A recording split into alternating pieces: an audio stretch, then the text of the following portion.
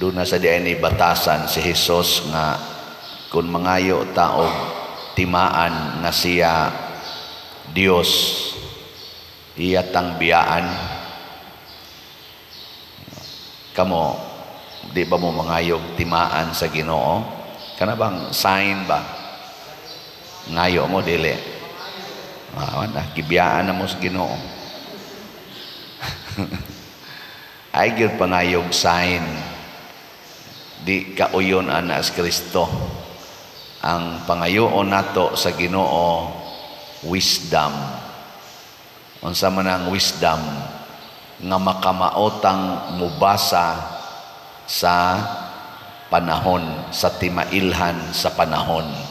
Matud pa ni Kristo you should know how to read the signs of the times. Kana bang makasabota nganong ingon ani ang akong kahimtang? Nganong ingon ani ang nahitabo sa akong palibot? Nganong ingon ani ang nahitabo sa akong mga minahal sa kinabuhi? Wisdom ang atong ikinahanglan dili sign. Kay ang sign manggod murabag atong pamatud-an nga ang Ginoo nahibalo og present siya sa atong kinabuhi doon na bagoy panahon nga ang Ginoo absent sa atong kinabuhi, naabawa. Wala oy, matud pang Kristo ang Ginoo uban kanato kanunay kay kun mawa ang Ginoo matud pas mga philosophers o mga theologians mawa lang kuno ang Ginoo bisag 3 seconds lang nga muundang ang Ginoo sa iyang presence nato. Bisag 3 seconds hurot na tagkamatay Mawa ang hangin, di na mo pitik ang imong kaning kasing-kasing. Kay kaning tanang movements, gikan man is Ginoo. Og ang kinabuhi, mao gyud ang Ginoo. Niyag mohonong ng kinabuhi abisag tulo lang ka segundo ang tanang planeta di na mo di na mo lihok ang tibuok universo mohonong ang tanan wa nay movement ang adlaw di na musiga wa nay hangin wa nay circulation sa imong blood hunong gyud tanan 3 seconds hurot-hurot tagkamatay eh? no Ge, lingi ay mong tupad yung na nahibalo ka nga present ang Ginoo ron diha nimo. Ning na. Ing na nahibaw ka nga ang Ginoo present kadtong pagpangutang nimo ana. Ang Ginoo present kadtong pagpanglibak nimo sa imong silingan. Libaw ka na ang Ginoo present kadtong mga uyab mo nga nagtinukhangay mo dito sa kasagingan. Present ang Ginoo ato. Hibaw ba ang Ginoo present katong sige kag sugal dito sa tungits o sa manok o sa uban pa. Ang Ginoo present nga ikaw asawa nagtext-text kag laing laki. Kibaw ka na. Kibaw ba ang pare sa iyang pag-text sa madre nga nakahibaw ang Ginoo ato? Ha? Nahibaw? Nakatong ni adto kas parlor niya imong gipakuluran imong buhok present sa dang Ginoo dito. Sa imong pagkiski sa kilay giihap sa Ginoo pila ka bukilay ang nangahog kay bawo kana. Ha? God is, very intimately present in us.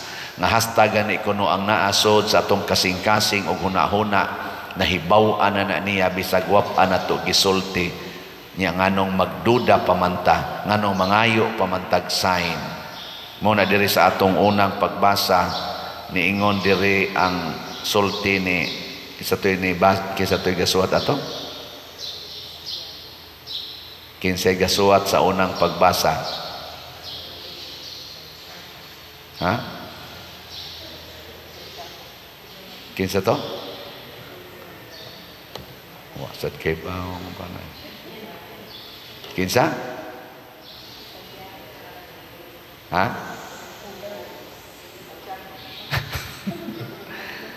Santiago, St. James, uh, Santiago.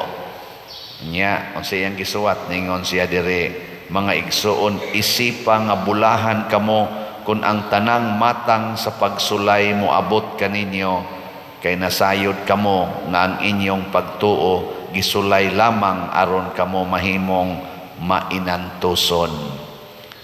Ang Ginoo di ay malipay kaayo kung kamaotang muantos sa pagpraktis sa atong gituuhan. Kung nituo ta nga ang sulti sa Ginoo, ang pulong sa Ginoo maogyod ang kinabuhi o kamatuoran, antuso nato ang pagbansay ni ana kay makalipay nas Ginoo. Sama anang giingos Ginoo higugmaa imong kaaway nituo ba ka nga tinuod na o sayop Unsa man na tinuod o sayop? Niya mo antos ba ka sa paghigugma sa imong kaaway o kanang mga palaaway? Mo antos ka dili. Labi na gyud sigihan kanyag daog-daog. Dili lang daog-daogon ka pinaagig pulong kulatahon pagyud ka. Mutuo ba ka nga kuyog nimo ang Ginoo samtang gikulata ka? Ha? Hoy. Niya gikiha pagyud ka, ikapay giilugan sa imong kabtangan, ikapay gikiha. Kaya na may uban nga giilugan sa ilang yuta. Niya ang nangilog pagyud pari. Gipost sa giilugan nga giyang gibugal-bugalan ang pari maunay pari maunay mo wali unsa kay winalihan nimo? Yawa-yawa. Pagkabasas pari gikiha og cyber libel ang nagpost na priso pagyud ang nagpost tungod sa cyber libel nga iyang gipost. Siya pay giilugas yuta siya pay ni-react siya pagyud gipaprisos pare. Ana pare pagyud niya unsa may inyong unahuna ana? Napay Ginoo o wa ug kamoy maigo ana ba naay Ginoo Oh, mo na giingon ni Santiago, isipa nga kining tanang pagsulay ug pagantos mao ni gustos Ginoo. Nganuman kay dinhis kalibutan ang timaan sa Ginoo nga niya na sa kalibutan mao ang pagantos.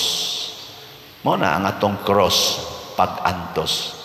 Kinsa tong nangitag kahayahay, kinsa tong naglikay pagantos kontra sa Ginoo. Ge. Lingi ana sa imong tupad. Ing na makigamigo kas Ginoo. Ing na. Timan iha kontra sa Ginoo kadtong maglikay sa pagantos kadtong mahadlok sa pagantos masuko sa nagpaantos niya kontra nas Ginoo. Kaysa pag-abot ni Kristo diri nga mao ang Ginoo nga nagpakatao giantos niya ang tanan. Wa siya masuko sa nagpaantos niya. Nya iniingon siya nato sunod mo nako uh, follow me. Mo nang niingon siya kung tamparoson inyong pikas aping patamparos lang pikas kung naay mo kawat sa inyong butang ayaw na lagbawia kung dunay mo bugal-bugal ninyo basli og panalangin. Oh di ba? Di gyud masuko niya kung ang imong bana gikabit sa inyong silingan nya gibugal-bugalan pag kas iyang kabit masuko kas kabit o dili? Oy tubag. Kung ligo ng imong pagtuo mo ingon dayon ka natuman na gyud ang sugo sa Ginoo. Ako ning padayonon kay mao ni ang katumanan sa pulong sa Ginoo. Ug mituo ko nga ang Ginoo kuyog nako nining maong kasakit. Thank you lord nga imo kong gipaambit sa imong kasakit. O mo na nang niingon diri si Santiago, apan pangayua siya uban ang pagtuo sa wala gayoy pagduha-duha kay ang nagduha-duha sama sa balod nga mununot lag sa ilabay sa hangin. Ang gikinahanglan maogyod ang pagtuo nga walay pagduha-duha aron kahibaw ta unsa gyoy tinuod nga pagkinabuhi subay ni Kristo. Karon bitaw hinay ang halin sa atong slots. Ako ra maning gituuhan gyud nga do nagi panahon nga hinay ang halin. Ana no nya na sa panahon abunda ang halin. Pero kahibaw yung Ginoo unsa ka kinahanglanon karon sa atong halin unta sa slots para sa kumbinto kay paspas na ang trabaho daghang bayronon o dako sad ang atong mga bayronon. Ya sa magamay pagyud ang halin. O nandi lang sa kumo report niyo karon kay ato sa padaghan-daghanon. Bitaw dili pa mo nato makwenta ang online nga mga kaning padala uh, basig mga Merkulis na lang tapuhon ang atong pagkwintada. Apil na sa atong atong HGN, katong final accounting sa atong halin atong atong special slot nga Healing Joy of Santo Niño. Uh, kini siya, dili gini makapa-discourage, never gyud kong ma-discourage aning mga kasakit o mga ani bang uh, dili maigo sa atong expectations ang atong nahitabo. Nga naman, kay ang ginoo present kanunay. Present gani ang ginoo diha sa akong pagkamakasasala. Kahibaw ko nga ang akong sala gimonitor sa ginoo. Di na kinahanglan nga magpakaaron ingnon pa ko nga buutan ko. Nge, katapusang lingi sa imong tupad. Ing na kahibaw ang ginoo sa imong sala. Na. Ana. Pahinomdumi siya ba na basig atuo ka nga wa siya kay kay bawong Ginoo. Mo na unsa ra may atong isulti? Din alam ta mangayog sign. Unsa may kasagaran gid atong isulti? Nga mo si atong perming isulti panahos misa maguna gina siya. Kaluy ako Ginoo ug mabuhi ako.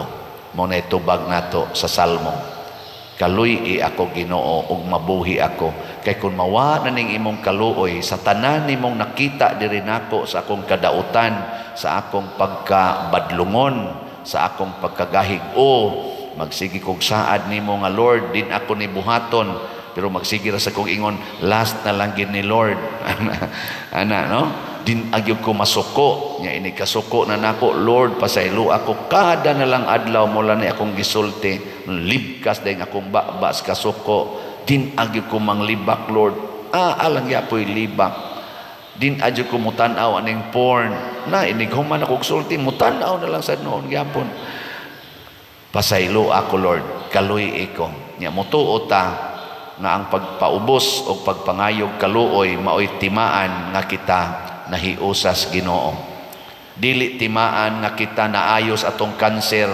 Dili timaan nga wa na kaatakiha wa na mga oppressions gikan sa yawa. Kanang gitawag natong harassment and mga oppression sa yawa nato nga baka kita kang mga itom nga talan-awon kabati kag tingog. Nya moingon ni kahay na mang Ginoo yawa na malani tingog di na pasabot nga way Ginoo nya ini kawagtang ana moingon ni kahay salamat Lord ikaw na ginagpuyo nako. Dili sa natimaan nga siya gapuyo nato. Di na kinahanglan nga naapabatay kasakit, do na pabatay healing, naapabatay deliverance, di na na kinahanglan. Unsa may kinahanglan tuo nga bisan pa sa pinakalisod o pinakasakit natong sitwasyon o pinakadimalas natong kahimtang ang Ginoo is always present. Ano, no? Mura mamog na discourage. Hmm. Kaya di pa present ang ginoo katong ni aksyon na may kahog sa pangpang. Dito kapugong ang tuod oy, tuod na laya, mubo pagyog kayo, makapugong anang inuba nga gisakyan og kaning walo ka buok nya gabitay ng dong adto padong sa bakilid nga na junjun gani sakay dito pagpaandar pag atras wa man gani kabalik og atras. Wa kabalik dayon na ibunlot og maayo. Unsa na kapagpugo nga tong tuod?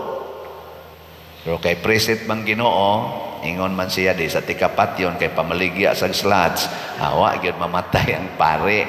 Wa mamatay kay mamaligya pag slot aron manindot pang simbahan. Ikahuman na posible nang patyon sa Ginoo. Posible nga inikabuntag na stroke na ko. Inigtok-tok ninyo dito sa kwarto kay wa ko manaog. Magsige na ko gingon hiwi ng baba. Bisa na and then unglan si Padre hala na stroke nya di malas din na. Dili mo ana radyo ko na unsa pang kamutan ako ang makalihok mo karibang pikas kari na nabitay na. Anaon pag nako. Managbaligya ang slat na okay na. Bulahan mong namalit. Ang di mo palit nga naabutan mo sa pagka-stroke nako. Din ako kabaligya. Ana posible na mo inoong.